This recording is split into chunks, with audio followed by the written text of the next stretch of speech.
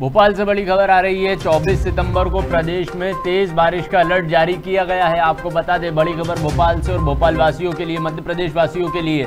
24 सितंबर से प्रदेश में तेज बारिश का अलर्ट जारी किया गया है। बंगाल की खाड़ी में लो प्रेशर एरिया एक्टिव होने की वजह से प्रदेश में भारी बारिश का अलर्ट जारी किया गया है। आज भोपाल, इंदौर, जबलपुर में हल्की बारिश की संभावना भी जताई गई है। आपको बता दें, भोपाल, इंदौर और जबलपुर में हल्की बारिश की संभावना बताई गई है। प्रदेश में 12-12 घंटे होगी दिन रात की अवधि। बड़ी खबर भोपाल से, प्रदेश के 38 जिलों में बारिश का कोटा पूरा हो चुका है। जिसके बाद भी अब बारिश का दौर अभी भी रुक रुक कर जारी है। मध्य प्रदेश में बारिश का दौर रुक रुक कर जारी है।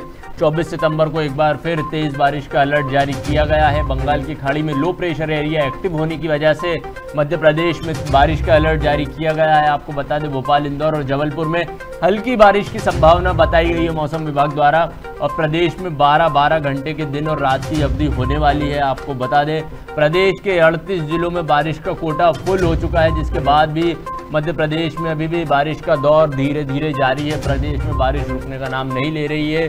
अभी भी बारिश का दौर मध्य प्रदेश में जारी है, जिसके तहत 24 सितंबर को एक बार और बारिश मध्य प्रदेश में होने वाली है। आपको बता दें, बड़ी खबर मध्य प्रदेश से आ रही है।